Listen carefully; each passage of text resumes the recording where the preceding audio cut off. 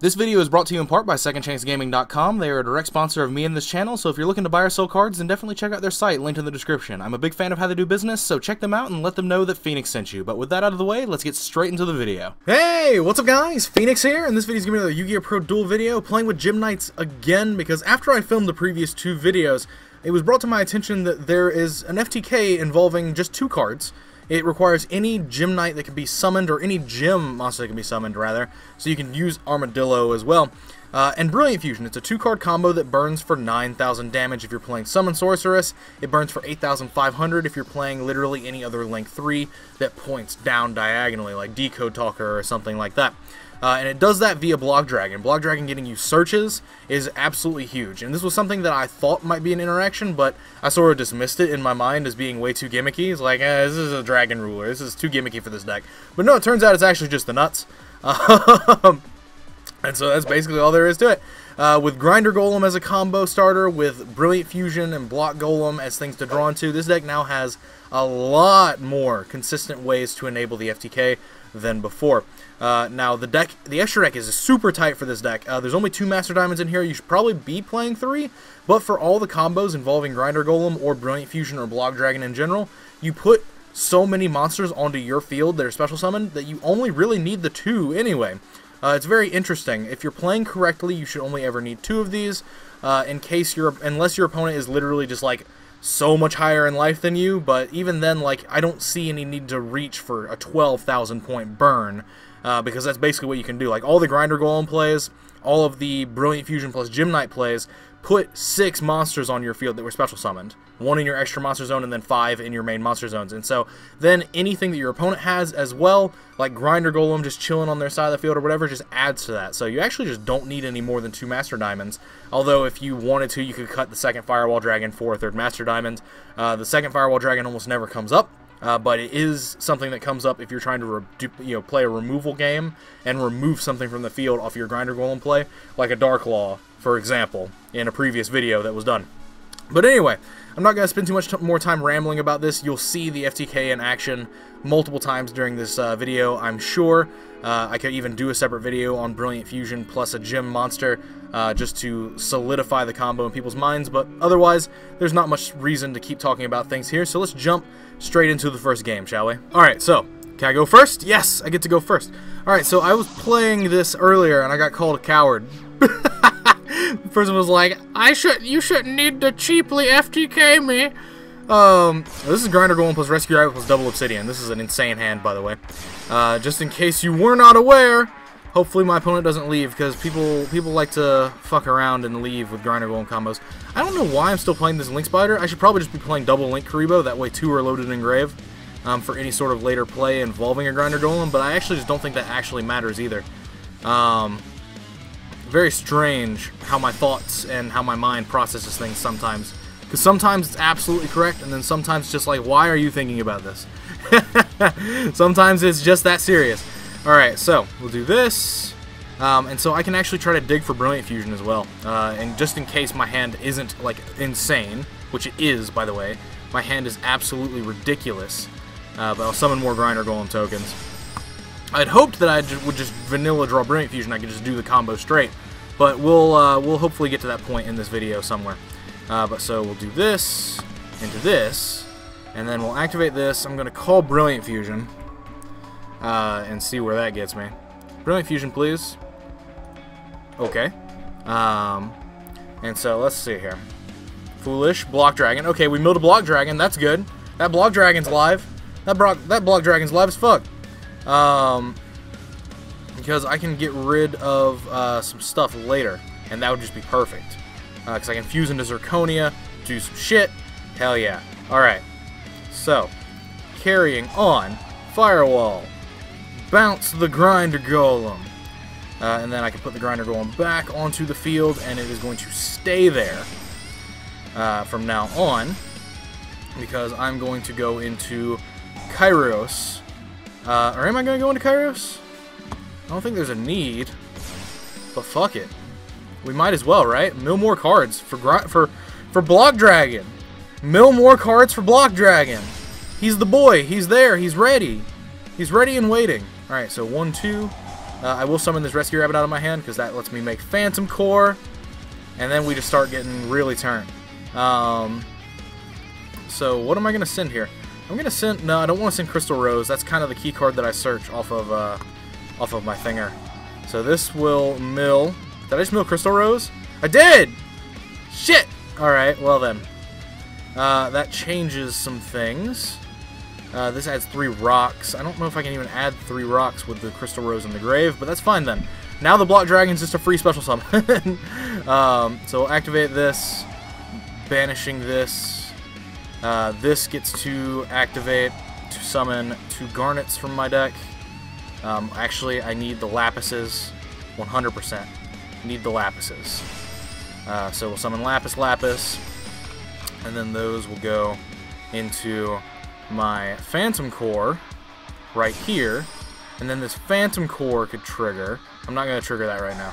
Phantom Core will trigger, uh, and it will add uh, another Obsidian to my hand. Sure, why not? Um, so now what I've got access into doing is that I have access into fusing away uh, into some stuff. I can summon Block Dragon, I can fuse into a Zirconia, um, and then that starts my play string rolling. So, from Graveyard, I will banish uh, one, two, three, uh, and summon this over here. And then I'll activate this, fusing into Zirconia, getting rid of Block Dragon and my Obsidian. So that'll come over here. And then the Block Dragon effect. Oh, the Block Dragon does activate. What are the targets in my deck that add up to 8? Uh, I'm curious. So I'll special summon this here. Uh, oh, I can just add another Block Dragon. Or I can add two Gem-Armadillos. Whoa! Alright. Interactions. Alright, cool. That's why I play two Gem-Armadillo. That's the secret reason. That's the secret reason Block Dragon can search these cards. That's the secret reason why. You heard it here first. Um, but no, in reality, let's let's be honest with ourselves.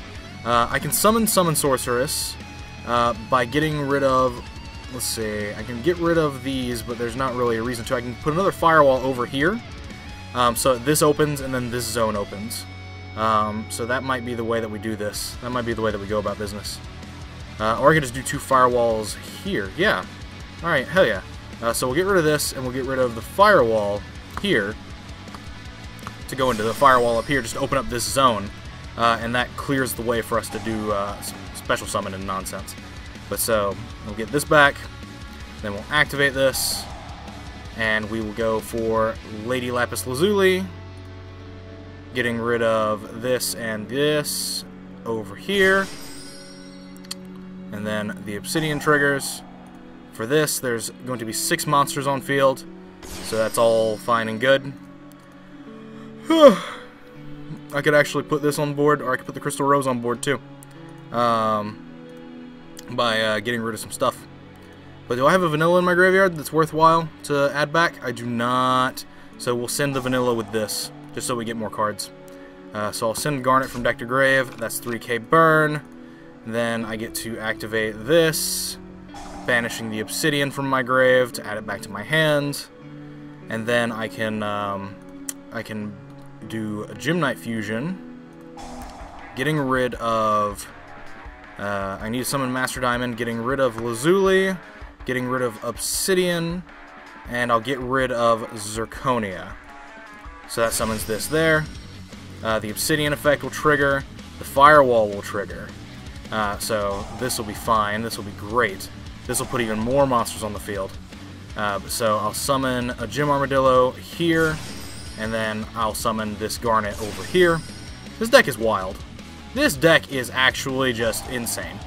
Um, I'll banish this Obsidian, add this back. Uh, I will use this to banish this to copy, and then I'll activate this effect to send the other copy of it from my extra deck to the grave, burn for 35.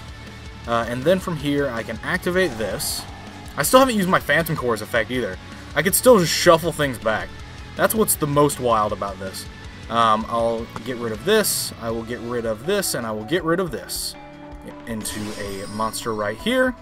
I could use Firewall here, and sure, why not? I've got Crystal Rose as well that's coming back um, by its own effect, so that's just more things to have.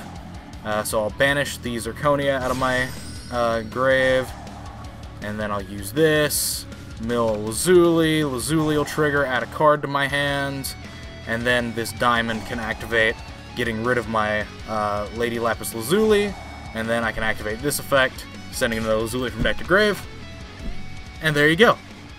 This this this deck is wild. This deck is insane. This this deck is damn it. They're so easy to burn people. It's so easy to burn people to death, even if you're just bumbling through the combo strings with even a slight idea of what you need to be doing. You can just do it. Like it's so ridiculous. It's kind of scary as well. I mean, it gets hard countered by almost every hand trap, but still, like depending on how far you go into the combo uh, sequence, hand traps become less and less relevant unless for things like Hanewata to stop you from doing burn damage, period. But I digress. Let's just jump straight in. Ghost Ogre on the first Master Diamond is actually a really hard way to counter this deck. A really hard counter is you let them burn you with the first Lady Lapis, and then when they use it, the Master Diamond's effect to banish Lapis from grave, then you Ghost Ogre it, and they're like, I can't do the... Depending on what combo sequence they went for, they're like, I can't do much. But anyway, Let's go straight into another one. Alright, so let's see if I get to go first. I do! Fantastic! Uh, do I have Brilliant Fusion? I don't. But I do have Foolish for Block Golem, so that actually works. And I've got Gem Armadillo plus Unexpected Die, which can also work. Um, it's going to be a bit suspect, but it's going to be able to be something that can work, I think. Um, because I can normal summon this, get Gem Knight Obsidian, uh, and then things should be in my favor because I can go foolish for the block dragon. Block dragon. There you are. Okay, so block dragon, and then I can go into phantom core with these two. I can use this effect to add my Gem Knight fusion, and then I can fuse with these two uh, into my into my uh, thing, and the obsidian won't really matter uh, or I could just banish these cards from my hand. It doesn't actually matter to me all that much. Um, I could banish them and then use this to put it back. So yeah, actually that's fine. We'll do that. I'll banish the cards from my hand because I don't actually care, because I would rather have this Lazuli in my deck anyway. Um, so yeah, it doesn't matter what card I added there. So we'll do this, and then I'll be able to activate this, which shuffles back those three to let me go into Lady Brilliant Diamond, which is going to be what makes my, uh, my plays live going on further into this. Uh, okay, so now activate this, while the Gem Knight Phantom Core is still over here, and summon Master Diamond here. And then I get to make Summon Sorceress uh, with the Block Dragon and the Phantom Core, and summon it over here, so it opens up different zones for me. And then Block Dragon's effect can activate. Uh, this is like special summon something to a zone, right? Yeah, no, I don't. I don't want to mess with that. let's let's just not. All right, so what I'm gonna add here is that what is in my graveyard? Uh, my graveyard does not have a vanilla monster in it, so I do need to search vanilla. So I'll search lapis, I'll search obsidian, and I'll search crystal rose. Uh, so that's eight. So that is exactly what you need. Um, so I can summon this block dragon again later in the turn, but not something that's going to be really important right this second. Uh, but we'll go into this Zirconia with this and the Crystal Rose. Zirconia here. And then I get to activate this uh, Crystal Rose by banishing the Lady Brilliant Diamond. I can summon the Crystal Rose here. And then I get to mill the Lazuli from my deck, which then gets to add back the Lapis. And then I get to use my Gem-Knight Fusion from Grave to add back. Yeah, this is easy. This is so easy. This was so easy. I thought that I didn't have it because I didn't open Brilliant Fusion, but turns out it's Foolish plus Gem-Armadillo as well. Um, and Unexpected Die. so that's another version of this combo.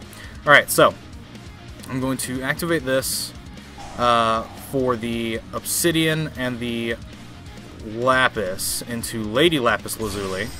And so the Obsidian here will summon this Lapis over here. So now I've got six special summon monsters on my field, uh, which means I can then go with this and mill... Do I even have a vanilla in my graveyard? I don't. How very, very curious. Um, it's fine though. I'll just mill another Lapis, I guess, uh, for 3k burn, and then I get to use the uh, Fusion, banish Obsidian, uh, and then I get to activate Master Diamond's effect after I fuse away with this. So I'll activate this, get Master Diamond, fuse away with this, fuse away with this, and fuse away with this. Yes, this is this is the this is the way I'm supposed to do this. I'm supposed to get rid of all of those, uh, and then that allows me to use this Master Diamond to banish this and copy its effect. Then I get to activate the Summon Sorceress effect, targeting this, summoning another Lapis out of my deck. This is why you uh, why you do it in that specific way. Or I could summon Gem Armadillo to opponent's field. No, over here, please. Um, and then I can use the Block Dragon. Why can't I not use the Block Dragon? Do I not have three rocks? I do have three rocks. How very strange. Oh well. I have game anyway, so it doesn't actually matter. But I'll banish this Zirconia. Why do I not have the ability to go into Block Dragon? Oh, because I hit activate and not special summon. That's why. Uh, let me double check my graveyard. I've got more than enough rocks. Yes? 100%. I have my rocks off even, you could say. So I'll banish these, summon the Block Dragon, that's another special summon monster. And so now I can activate this effect to send the other Lapis Lazuli from my extra deck to the grave, burn for 3k, activate this, banish this, activate this, burn for more! Why are you even surrendering when it's game already? Alright, cool! Cool, cool, cool. Okay, I didn't think that that one would work, but Unexpected Die, plus Foolish Burial, plus literally Gem-Armadillo does it as well. Very interesting, very neat. I like this a lot. Alright, so this is probably going to be the last duel of the video. I've already gotten two, uh, and they're both pretty decent. Um, so, I, I, guess I'm just too good at this rock, paper, scissors game. Can't People can't deal.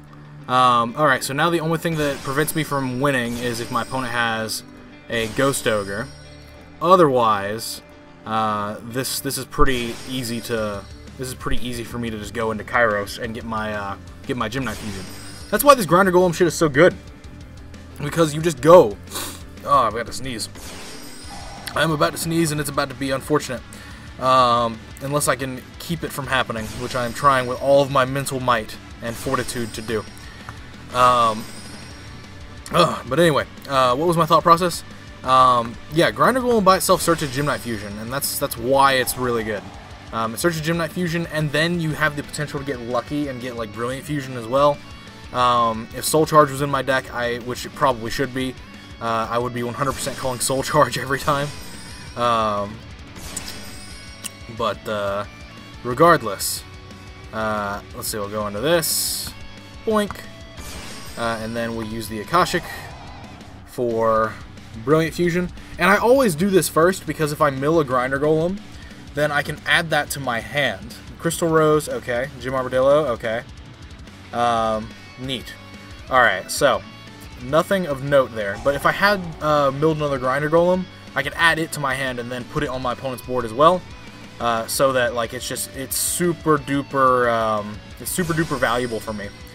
Because what that allows is that allows me to, um, put more special summon monsters on the board. That's another 500 damage every burn. That's actually just really big. It's really huge. What is in my graveyard trying to activate? This crystal... No, it's not the crystal rose. It's the Linkuriboh, which I do have to use anyway um, to go for the Kairos. So we'll do that. We will do that. Um, so we'll go one, two, three. Kairos. Um, we'll use Firewall and Kairos just to mask the Kairos from any possible Ash Blossoms. Um, and I will summon the Lazuli out of my hand way over here. Or not Lazuli, Lapis. Uh, and so what I'll send to my grave is I'll send the Gem-Knight Fusion, and then the Kairos will activate, milling more cards. It milled a Block Dragon. If you aren't amazing, then get out. well, alrighty then. Alright, so I don't have any uh, in my graveyard that I can utilize, but I can easily put one there. Can easily do it.